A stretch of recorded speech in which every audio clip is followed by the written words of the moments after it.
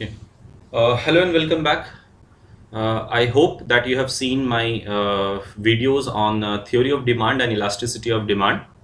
And uh, here in this video, I'm going to explain you the concept of uh, supply and elasticity of supply and you're going to find that uh, the concept in this chapter is uh, very similar to the concept that we have seen in uh, theory of demand and elasticity of demand chapter. So let me uh, start this chapter and uh, i'll first explain you the meaning of supply.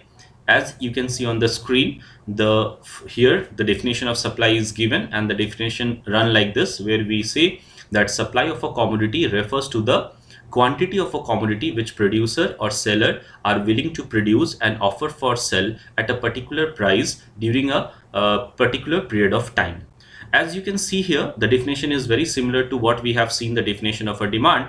Uh, here there are minute changes where we are uh, talking like this. We are saying like this that uh, supply uh, is a uh, topic which is related to producer where we have seen in the theory of demand i told you that demand is a to topic which is related to consumer and here we see that supply is a topic which is related to producer. So according to this definition supply actually mean the quantity of the commodity that the producer is willing to produce or willing to sell.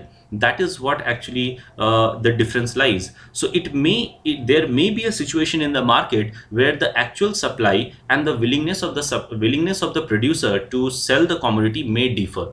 I'll let you know that uh, under what condition the willingness and the actual sell can be uh, differ. But the point is when we are defining the uh, definition of supply, it is very important for us to understand that in the definition of supply, we are not talking about actual quantity of commodity that is sold in the market, but we are talking about the willingness of producer to sell the commodity in the market. There are two important keywords as you can see in the definition. One is called price and the other is time. So these important three, uh, these three keywords actually bring the meaning in the definition of a supply. So in my next slide, I'll show you the three important keyword. We'll have a small discussion on those uh, keyword and then we'll move further uh, into this chapter, right? So I'm going to show you my second slide as you can see here. In this slide, uh, you can see the first important keyword is highlighted where we are talking about desired quantity. And in this uh, definition, it is told that uh, the supply uh, is defined as a de desired quantity in the sense that the producer willingness to sell may not be same as the actual sale. So that is what we are uh, talking in the definition of a supply. So there can be some situation in the market where the amount of the commodity that the producer is willing to sell may not be uh, same uh, actually what it is sold in the market. Say suppose if i take one small example of a natural calamity uh, or I can take examples of uh, say change in the policy of the government then it may happen that uh, due to some natural calamity like flood earthquake uh, the producer is willing to sell uh, more commodity in the in the market because the, there may be a need of that commodity in the market in on an urgent basis. But due to the lack of resource availability to the producer the producer is not willing uh, producer is not actually able to produce. So therefore the actual amount of good that is uh, sold in the market and the willingness of the producer uh, is uh, uh varying here uh, due to the uh, factors like natural calamity or due to the government policies or some some factor like this. So that is what but the conclusion is that when we are talking about supply, we are actually talking about willingness to uh, supply, not uh, actual supply. So please children, uh, keep this in, in your mind that uh, when we are talking about supply, we are talking about willingness to sell right? I'll go to the next important uh, feature here. As you can see it is told that related price. If you remember i told in the video when i was explaining you theory of demand i told that demand the concept of demand or definition of a demand is very much related to price. So here also in theory of supply the supply is also very much related to price. And it may happen that when the price of uh, any commodity is ch uh, changing uh, the sub, uh, the willingness uh, of the seller or the producer may also change. So uh, I have taken a small example to make you understand that why price is an important uh, keyword in the definition of a supply as you can see here it is written that a producer may not be prepared to sell his produce at a prevailing market price of rupees 400 so it may happen in the market that uh, if the producer feel that the price of the commodity is not actually uh, what they should uh, get then he may not be ready to sell any commodity or any quantity of the commodity at a lower price. But when the price of that commodity increase to 500 500 then he is ready to sell.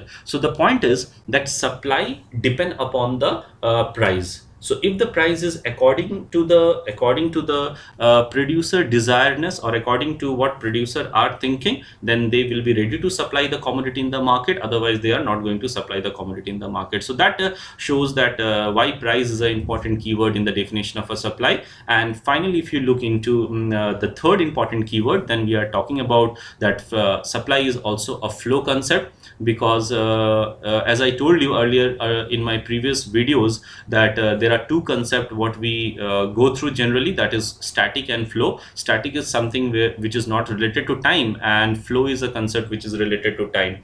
And why we are telling that supply is a flow concept because it is related to time. It uh, at a particular price uh, the quantity of the supply the quantity of the good that the producer is willing to supply may differ from one time to another time. So that is what the point is. So uh, that is what during the time of uh, emergency uh, this producer may be willing to uh, supply more of the commodity and in a normal situation the producer may not be willing to supply more of the com commodity in order to keep the supply less than the demand to take the uh, uh, advantage of the market situation. So that uh, shows that why we are telling that supply is a concept that is also related to time. So these are the three important keyword and i hope i have explained you the three important keyword that need to be present when you are defining supply right uh, you can see here the fourth point. Uh, there is a small note which uh, or I may uh, I want to bring uh, your concentration here to make you understand the difference between the two important word that is stock and supply. Sometimes we generally say that the stock and the supply are synonymous but they are actually not. There is a, a, difference between the word stock and supply.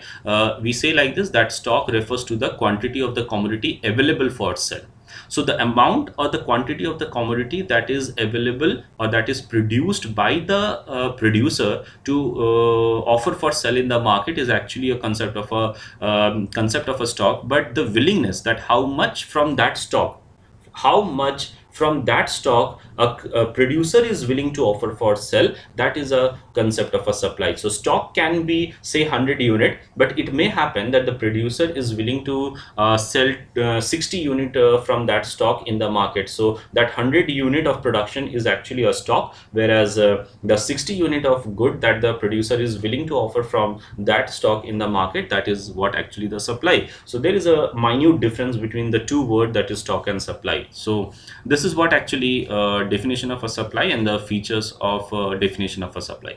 So let us go to the next slide and find what is there in the next slide. As you can see here, the heading is type of supply. If you remember in my previous videos, I told that there are different types of demand also. So here also I'm, we are going to go through different types of supply. So as you can see here, the first type of supply that we see is an individual supply. I'll not go uh, for the uh, things that is written here. I'll just uh, try myself to explain you what actually the word individual supply mean.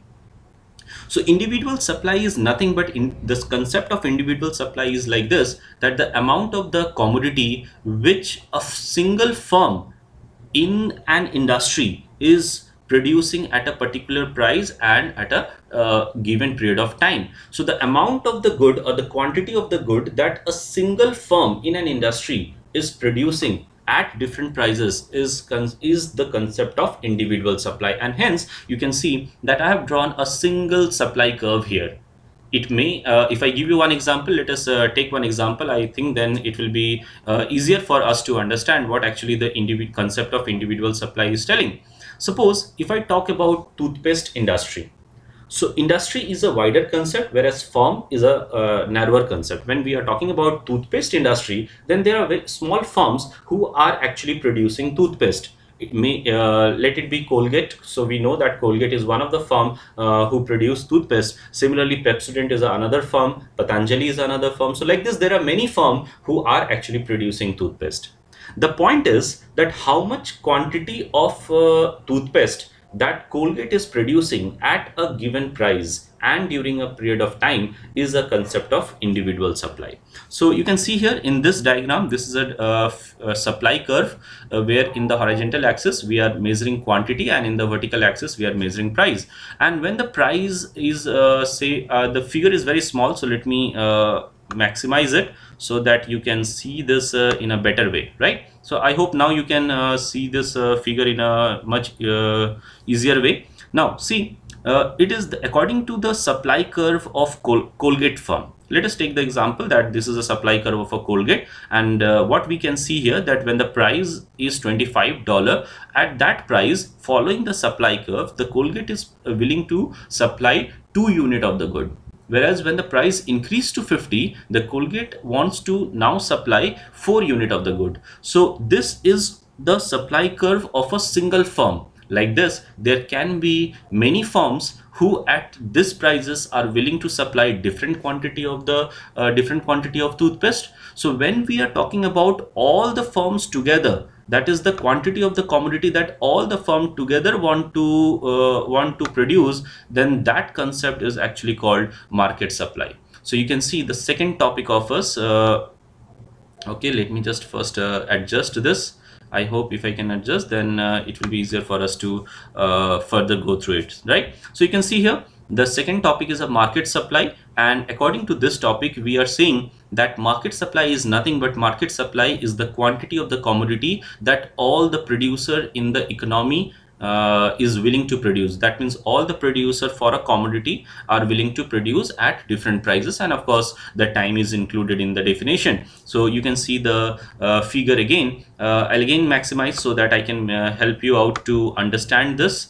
Uh, okay let me uh, see if I can adjust a little bit okay now so have a look. Uh, this uh, is a uh, figure or this is a supply market supply curve and we are getting this market supply curve when we are uh, um, taking into consideration the supply curve of firm 1 and the supply curve of firm 2 so this is an individual this is an individual supply curve of firm 1 and individual supply curve of firm 2 and uh, summation of this two supply curve give us a market supply curve. So let me just uh, try to explain what is actually uh, market supply and how we are getting a market supply curve. You can see here uh, when the price, say suppose when the price is $1, the firm 1 following its supply curve is willing to produce 10 unit of a commodity and uh, at the same price of one dollar the another firm who is also producing the same commodity he is uh, ready to produce uh, 10 unit of the commodity. So we can see from the uh, figure that at price one dollar both the firm are producing uh, 10 unit of the commodity. So if i want to know then what is the uh, quantity of the commodity that is supplied in the market then it is actually the summation or addition of 10 plus 10 so we are getting here 20 so at one dollar the total supply supply of the commodity in the market is coming 20, uh, 20 unit. When the price increased, Firm 1 has also increased its production to or willingness to 15 and here when the at same price that is $3 Farm 2 is also increasing it to 15 so the total market supply is coming 30 but of course I want to uh, bring one thing here uh, into your notice that it is not necessary that both the firm will uh, react in the same manner. It may happen that at uh, $3 Firm 2 instead of producing 15 uh, is willing to produce uh, 20 so in that case the total quantity of uh, good that will be supplied in the market at three dollar will be 35 so that is how we obtain the market supply curve or we say that market supply curve is a horizontal summation of individual supply curve. So these are the two types of supply curve that we have discussed here. If i go for the next slide then you can find that uh, we are basically discussing about three uh, more type of supply. As you can see here one is called market period supply short period supply and long period supply. So market period supply the concept of market period supply is such where we are saying that uh, it is that time period where the time period is too short to bring any change in the supply right? What do i mean? I mean that the time period for a producer is so short that even if the price is changing the producer is unable to change the quantity supply. That producer is unable to bring any change in its willingness to uh, sell. That uh, that concept is actually called uh, or that situation is called market period supply. And as you can see here uh, uh, this is a figure or this is a supply curve of market period supply. You can see from the uh, market period supply curve is a vertical line and when the price is rising the quantity supply remains same. The quantity cannot be changed because the time is very short for a producer to bring any any change in its uh, willingness to produce. So that is what actually a concept of a market period supply. Uh, of course uh, when we will proceed further in this uh, topic i'll show you uh, i'll uh, give some more example to explain what is market period supply. When we will go uh, when we will go to a topic called exception to the law of supply. Again this topic will come and we'll have a discussion with some more example. Okay? There is a second type of supply uh, curve that we see that is called short period supply. So short period supply refers to time period which is not sufficient to make major changes okay? So you can see here the um, difference. We are saying that there is a another type of supply curve that we get and that supply curve what we get is a situation that is called short period supply. So here the time period is not uh, very short. What we have just now told in a market period uh, supply. Here the time period is not very short. Here the time period is uh, uh, sufficient enough to bring minor changes in the quantity uh, supply minor. I'm not using the word major but the time is not that much sufficient so that i can bring major changes in the quantity supply. What do i mean? I mean actually i mean that the time period is uh, just sufficient to bring small change in the quantity supply. And this change can be uh, brought by bringing a change in the variable factor of production. Now you may be wondering that what is variable factor of production? Uh, of course please don't get confused uh, there are some more chapters that we will go through. the name of the chapter is Theory of Production, where uh, I'll explain you what is variable factor of production and what is fixed factor of production. But uh, okay, for time being, I'll help you out to uh, understand what is this variable factor of production in short uh, many economists have an opinion they have an opinion that any commodity can be produced by using labor and capital capital means we are here we are talking about machineries. So labor and machine together work to produce any good.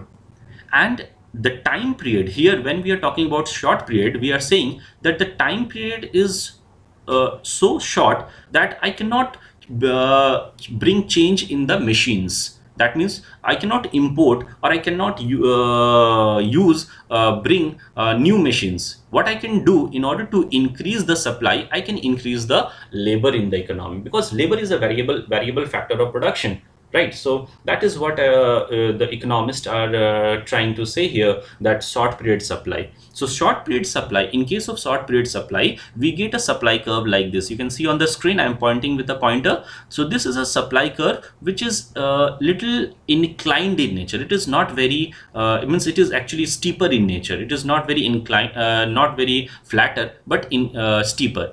This steep steep supply curve is a uh, figure that we get or I may say this steep supply curve is a representation of short period supply. I'll, I will again explain you what is steeper and flatter supply curve represent. So this is a steep supply curve and it represent that when there is a change in price, as you can see here, the price was initially this much and when the price increase, the quantity was initially this and now it has increased to this as you can see from the diagram itself that the ma magnitude of change in price is much more as compared to the change in quantity supply. So there is a large change in price but there is a small change in uh, quantity supply. And so we are saying that short period supply is a time period where uh, the producer can bring a small change in quantity supply not very much. So that is what actually the concept. And uh, if the supply curve is in uh, steeper uh, then we say the nature of this supply is inelastic in nature i hope you remember the difference between inelastic and elastic that i have explained you while explaining you the theory of demand so here also uh, elastic and inelastic, the topic will come and we'll have a discussion. But for time being, you just remember that when supply curve is steeper, the nature of the uh, elasticity is inelastic. And finally, coming to the third type of supply curve that is called long period supply. We say like this uh, that long period supply is uh, that supply where the uh, time period is uh, long enough to bring major changes in the quantity supply. Again i repeat i'm saying that long period supply is uh, that time period where the time is uh, sufficient enough to bring major changes and this is the reason why uh, we get the supply curve like this. So in case of long period supply we get a flatter supply curve. And the flatter supply curve represent that even if there is a small change in price there will be a large change in quantity supply. So that is what actually the long period supply curve uh, tell us. So this is what actually the this is what the different types of supply that we have. So let us uh, quickly see what are the types of supply we have discussed so far. So we have discussed about individual supply we have discussed about market supply uh, market period supply short period supply and long period supply. So these there are five types of supply that we have discussed okay? So I hope you are very familiar with uh, this topic that is determinant of supply. I have explained this uh, in my previous videos also where I was talking about determinant of demand. I told determinants or factors affecting demand or determinants and factor affecting supply are very similar concept where we are concerned about to know that how the producer willingness to supply will change when there will be a change in uh, the factors when there will be a change in the economic conditions so you can see here uh, very well the first factor that can affect the producer willingness to supply is the price of the commodity right? And if we are talking about price of the commodity it's very uh, normal to say that every producer wants to earn profit and they can earn profit uh, by increasing the price. So if the price of the commodity is rising in the market due to the market condition that is the time period where the producer will be uh, willing to produce more of the commodity to take the uh, advantage of the market situation. And hence we are saying that price is a very important factor that affect the if I being one producer and I come to know the good that I am producing, if the price of that good rises in the market due to some market condition, I will definitely want to produce more of the good to take the advantage of that situation, to take the advantage of the market condition. So price is a very important factor that affect the supply and of course the price and quantity supply uh, is having a direct relationship. That means when price of the any commodity uh, the willingness of the producer to produce the commodity also rise. So we see that price and quantity supply is directly related. And similarly uh, if i talk uh, in an opposite sense then when price of the commodity fall the producer get demotivated and they produce less of the commodity. So price and supply is having a direct relationship. You can see here the second important factor that affected the supply is called goal of the producer. Uh, being a producer there can be a several goal uh, it may be that producer wants to earn profit. It may be that the producer wants sell maximization. Sell maximization i'll let you know what a sell maximization is. Uh, there are many producers uh, who are not concerned about profit. What they are concerned is that how much quantity of good that they are selling in the economy. So that is also uh, one of the important objective or the goal of the producer. And finally what we see the third important goal of the producer is risk minimization. So that is very important for all the producer risk minimization and all of us in our life uh, we want to minimize the risk. Nobody wants to take the risk. So similarly the producer also want to minimize the risk. And uh, the, these are the three uh, goal that i have taken uh, taken here. But there can be uh, even more than these three goal but on the basis of these three goal we are going to discuss that uh, how these goal affect the quantity supply uh, by the producer. So suppose if a producer wants uh, have a goal of profit maximization or sell maximization then we definitely they are going to produce more of the commodity so as to uh, acquire the status and the prestige in the society sometimes the producer also uh, has the goal of uh, goodwill they uh, sell maximization or goodwill so if they want to produce or if they want to capture the market so even at a less price, they will supply more of the quantity if they want to capture the market first. So we can take the example of a, uh, Reliance Jio. Uh, we know that when G, uh, Reliance Jio was introduced in India, uh, it was given free to its customer. Is simply because the Reliance Jio wants to capture the customer.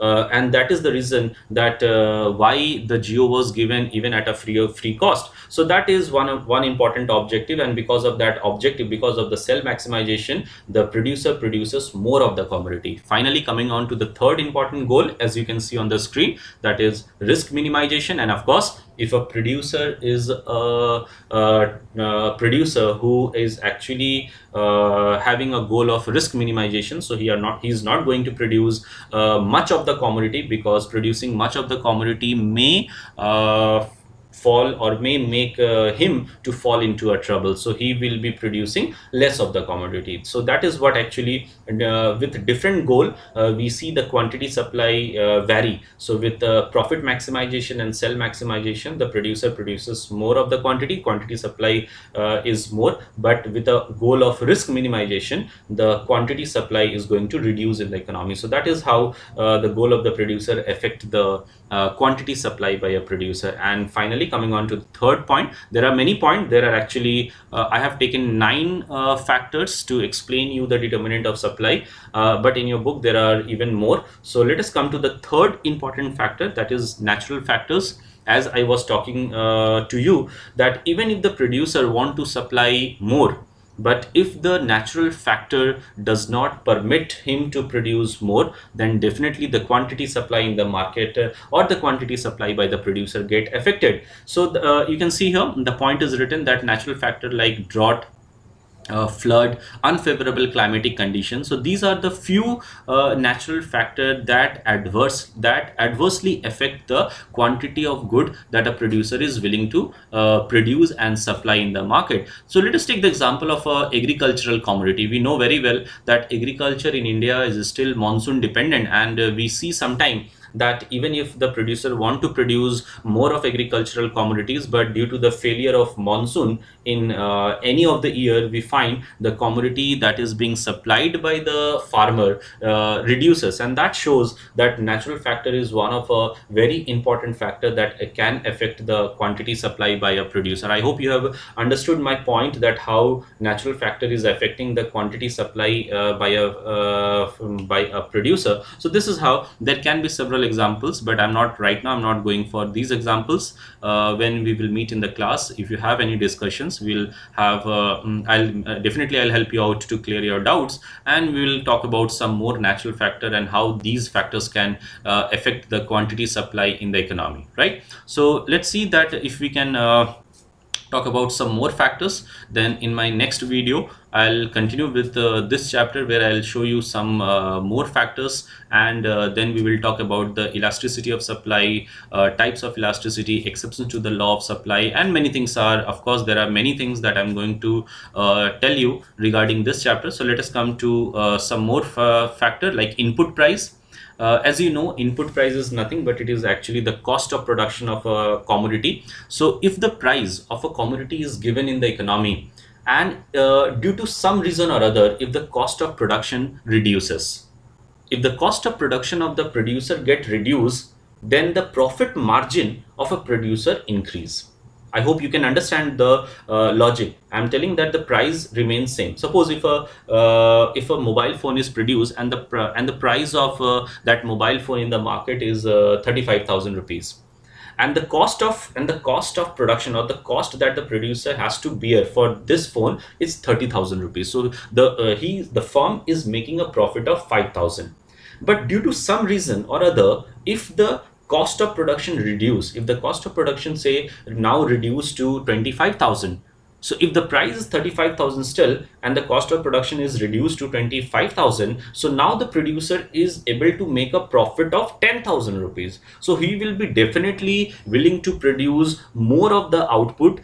during that time. And that is the uh, logic behind this. So the logic tell us that when the cost of production reduces, the quantity supply increases. And if the cost of production increase, there will be profit margin of the producer will fall and definitely it will affect the quantity supply uh, by a producer. So this explain that how input price affect the fact uh, quantity supply by a producer. Of course price of the related commodity is uh, another important factor that affect the supply. I, will give you one small example to explain how this affect let us take the example of tea and coffee as uh, we are talking about related good. So related good can be substitute good or uh, complementary good as i have told in my previous videos. So suppose if the price of uh, coffee rises up if the price of coffee increase and there is a large forget about what what is the demand. Let us think that the demand remains same. Demand uh, we are not uh, taking demand into consideration. So if the price of coffee increase whereas the price of tea remains same then the producers those who are uh, those who are now producing tea may find that due to the rise in the coffee there is a large profit margin uh, margin in coffee and they are going to shift themselves from producing tea to coffee. As a result when producers are going to come from uh, uh, will uh, shift their profession from producing tea to coffee the quantity of uh, coffee that will be produced in the economy is definitely going to rise because now the number of producers who are producing coffee is increasing so that also show that price of the related good is also one of a very strong factor that affects supply. And finally, coming on to the last point as uh, I will end here uh, for today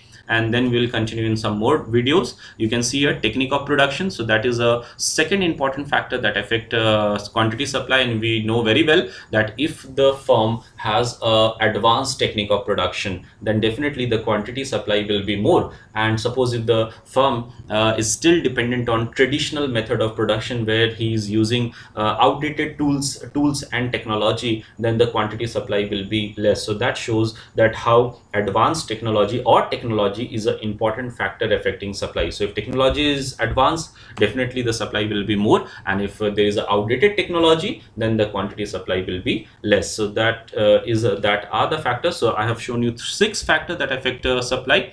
Uh, next video we will have a discussion on three more factor and then we'll go for discussing about the concept of supply function uh, supply schedule law of supply uh, exceptions to the law of supply and supply curves. So okay. So uh, i'll end here. Uh, hope you are going to go through this topic uh, and in case you are having any doubt when we will meet in the class we'll have a discussion on all your doubts right? Thank you